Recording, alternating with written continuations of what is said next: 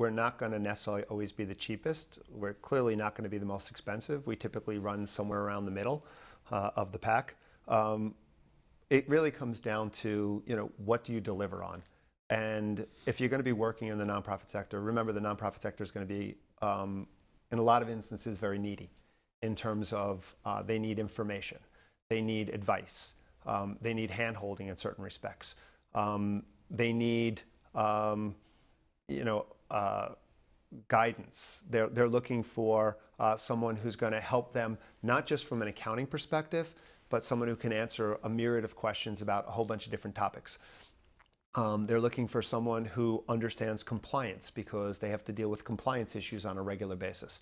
Uh, they're looking for someone who can understand regulations. So when we go in and we do an audit, we don't just focus on the fiscal aspects of things. We look at fiscal, we look at compliance, we look at operations, uh, we look at um, you know, how effective they're doing, uh, and we use a whole bunch of different um, analytics to look at the operational effectiveness of the organizations. We try to educate them on what they can be doing better. We work with their boards of directors and try to educate their boards of directors. So we really take a holistic approach when we're dealing with the nonprofit sector.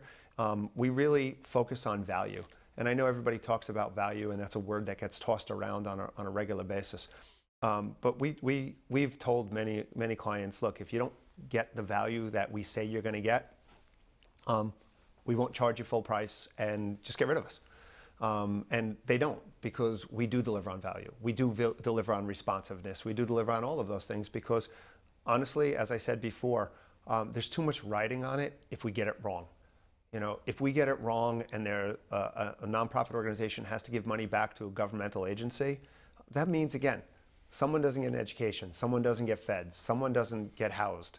There's too much riding on it. We can't make mistakes. So we really take what we do very seriously and we over deliver.